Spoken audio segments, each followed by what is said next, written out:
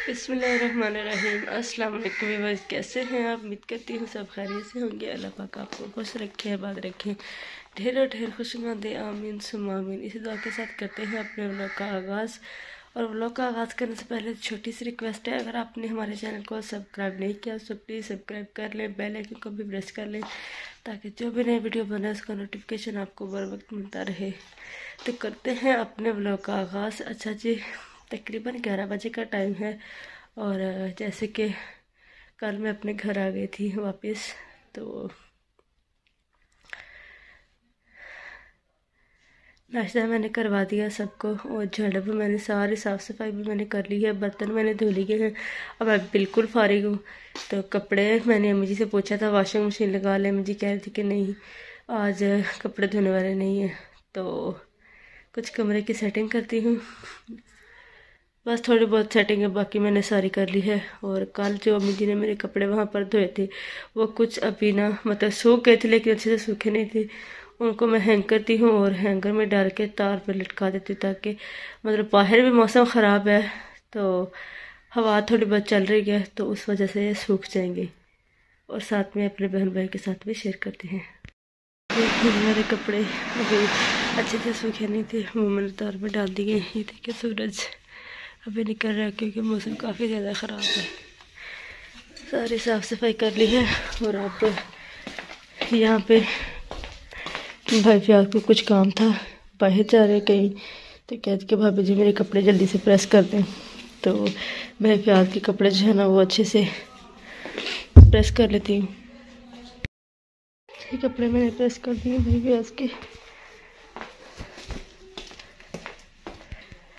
अच्छा जी, ये कुछ कपड़े मेरे और यहाँ पर अब्बास के पड़े हुए, ये मैंने वैसे तैयार रखा क्योंकि ये गर्म कपड़े थे मेरे तो वहाँ तो छोड़ के नहीं आ सकती थी। अब ये धोने वाले हैं, ये धो लेती हूँ। और सूट अब्बास का है, वो भी धो लेती क्योंकि धूप जो है ना, वो निकल रही है। और ये अम्मी जी की मेडिसिन, ये अम्मी जी वहीं पर भूलें थी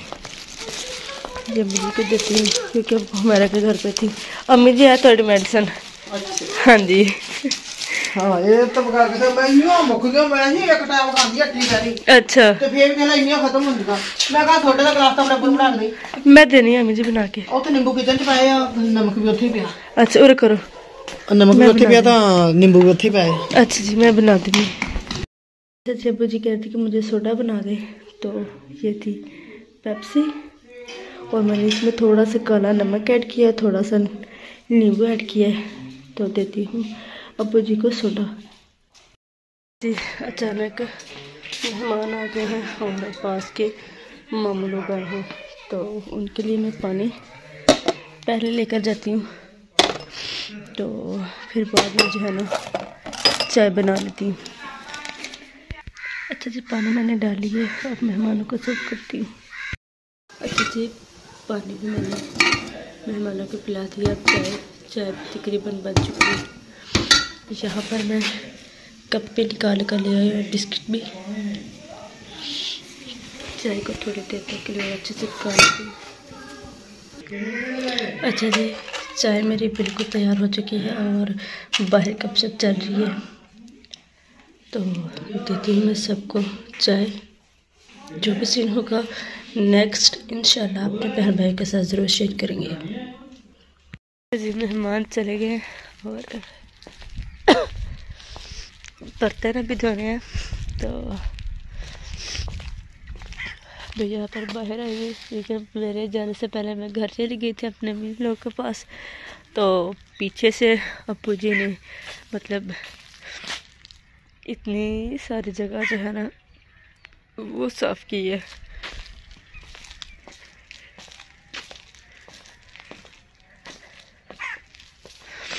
और ये जो यहाँ से दरख्त जो कटवाए थे, उनके मतलब ज़मीन के नीचे जड़े थी, कल बदी शायद करा लगा रहे थे ट्रैक्टर के साथ तो ये नीचे से निकाली हैं। अम्मी जी भी सामने से आ रही हैं। माशाल्लाह से आहिस्ता आहिस्ता इन शाला ये सारी जगह जो है ना ये आबाद हो जाएगी।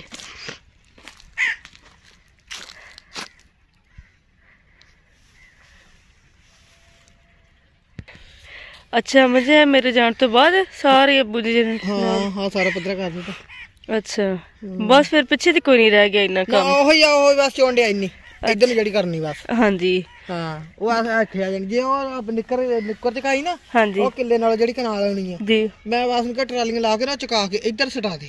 ਹਾਂਜੀ। ਉਹ ਤੇਰੀ ਉਹ ਰਕਬੇ ਦੇ ਨਾਲ ਨੀਵਾ ਹੋ ਜੂ ਕਿੱਲਾ। ਹਾਂਜੀ ਉਹ ਵੀ ਉਹ ਵੀ ਠੀਕ ਹੈ ਹਾਂ ਬਾਕੀ ਉਹ ਟਿੱਬਾ ਨਾ ਰੱਖ ਤੂੰ ਟਿੱਬਾ ਬਸ ਆਹੀ ਇੱਕੋ ਹੀ ਰੱਖ। ਉਹ ਹਾਂਜੀ ਜਿਹੜੀ ਨੀ ਤੈਨੂੰ ਆਉਂਦੀ ਨਾ ਕਨਾਲ ਉਹ ਨਾਲ ਨਾਲ ਟਰਾਲੀਆਂ ਨਾਲ ਚਕਾ ਕੇ ਇੱਧਰ ਸਟਾ ਦੇ। ਹਾਂਜੀ ਨਹੀਂ ਉਹ ਇੰਨਾ ਜ਼ਿਆਦਾ ਨਹੀਂ ਲੱਭਣੀ ਸਟਾਉਣ ਨੇ ਹੁਣ ਤਾਂ ਜਗ੍ਹਾ ਨੀਵੀਂ ਇੱਥੇ ਸਟਾ ਹੋ ਜਾਣੀ ਆ। ਹਾਂਜੀ ਨਹੀਂ ਇੰਨਾ ਜ਼ਿਆਦਾ ਕੰਮ ਤੇ ਕੋਈ ਨਹੀਂ ਹੈ।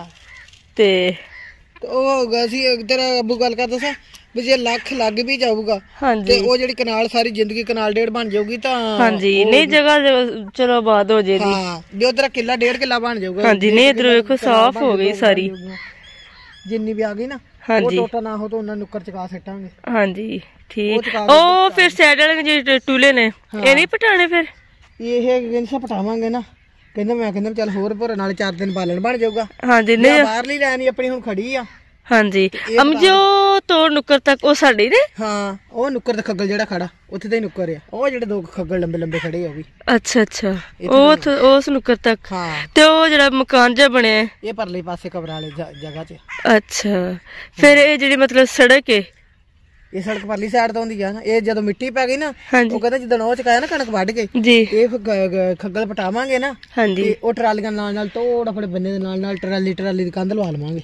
ਸਹੀ ਇਹ ਵੀ ਕੰਮ ਠੀਕ ਹਾਂ। ਕਹਿੰਦਾ ਉਹ ਫਿਰ ਨਾਲ ਨਾ ਇਹ ਦਰਖਤ ਪਟਾਵਾਂਗੇ ਨਾ ਨਾਲ ਨਾਲ ਟਰਾਲੀ ਦੀ ਟਰਾਲੀ ਥਾਂ ਤੋੜ ਚਾਰ ਸਫੇਰੇ ਦੀ ਟਰਾਲੀ ਲਵਾ ਦੇਵਾਂਗੇ। ਹਾਂਜੀ ਹਾਂ। ਠੀਕ। ਚਲੋ ਇੱਕ ਵਾਰ ਸਾਰੀ ਜਗ੍ਹਾ ਸੈੱਟ ਤੇ ਆਹ ਇੰਨੀ ਟਿੱਬੀ ਆ ਤੇ ਇਹ ਜਦੋਂ ਖਿੱਚਣ ਲੱਗ ਪਿਆ ਉੱਤੋਂ ਤਾਂ ਖਿੱਚਣੀ ਕਿਹੜਾ ਥੱਲੇ ਜ਼ਮੀਨ ਤੇ ਹੀ ਪੱਟਣੀ ਆ। ਹਾਂਜੀ। ਉੱਤੋਂ ਤੇ ਕਰਾਉਣੀ ਕਰਾ ਕੇ ਤੇ ਇੱਧਰ ਹੋ ਜਾਊਗੀ ਤਾਂ ਬਾਕੀ ਜਿਹੜੀ ਨਹੀਂ ਅਮੀ ਜੀ ਤੁਸੀਂ ਹਿਸਾਬ ਲਾਓ ਨਾ ਜਿਹੜਾ ਇੱਥੇ ਮਤਲਬ ਇਹ- ਇੱਥੇ ਟਿੱਬਾ ਸੀ ਇਸ ਜਗ੍ਹਾ ਤੇ ਉਹ ਜ਼ਿਆਦਾ ਸੀ। ਆ ਦੇ ਲੈ ਕਿੰਨਾ ਸੀਗਾ ਤਾਂ ਦੇ ਲੈ ਹੋ ਗਿਆ ਨਾ ਨੀਵਾ। ਹਾਂਜੀ।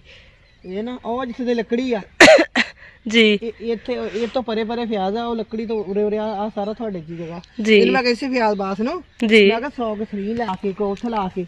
ਤੇ ਉੱਥੋਂ ਪੈਪ ਲੈ ਕੇ ਨਾ ਇਹਨਾਂ ਅਹ, ਸਰੀਆਂ ਨੂੰ ਪਾਣੀ ਪਾ ਲਿਆ ਕਰੀ ਚੰਗੇ ਭਲੇ ਮੈਂ ਕਿਹਾ ਦਰਖਤ ਹੋ ਜਾਣੀ ਆ। ਇੱਥੇ ਸ਼੍ਰੀ ਹਾਂ ਮੈਂ ਚਲੋ ਇੱਕ ਵਾਰ ਅਮੀ ਜੀ ਸਾਰੇ ਹੋ ਗਏ ਨਾ ਲੈਵਲ ਹੋ ਗਈ। ਹਾਂ। ਸਕਦਾ ਇੱਥੇ ਮਤਲਬ ਕੋਈ ਚੀਜ਼ ਬੀਜ ਲੈਣ। ਨਹੀਂ ਇਹਦਾ ਬਗਸਾ ਇੱਥੇ ਬੋਰ ਕਰਾ ਲੈਣਾ ਟਾਲੀ ਨਹੀਂ ਜਿੱਥੇ।